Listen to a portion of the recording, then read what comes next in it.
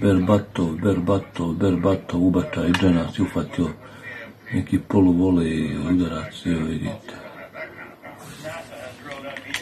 Polu makazice, polu vole i sjajno, zato je sam režu.